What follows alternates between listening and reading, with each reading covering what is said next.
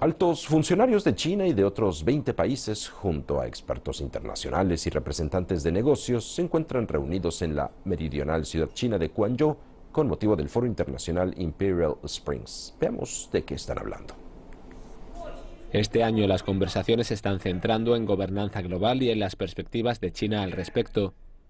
Los participantes están compartiendo sus opiniones sobre las oportunidades y retos de la gobernanza global y también sobre las formas de promover más la paz mundial y el desarrollo sostenible.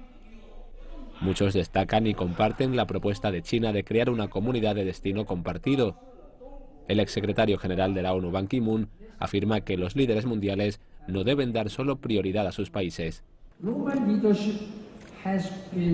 El liderazgo mundial ha estado restringido por el nacionalismo.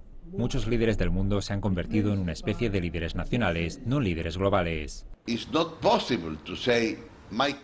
No es posible decir que mi país va primero, porque nuestro planeta necesita ser el primero. Las cuestiones importantes van a ser asuntos como el cambio climático, la migración. Estas grandes cuestiones no pertenecen a la política interna de cada país.